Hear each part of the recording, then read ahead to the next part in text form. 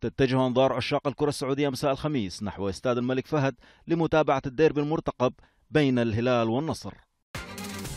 إيقاف الغاني سولومون تاري لاعب اتحاد جدة لمباراتين بسبب سلوكه أمام الوحدة. بات كوانغزو إيفرجراند الصيني حامل لقب دوري أبطال آسيا النادي الأول في العالم من حيث القيمة السوقية.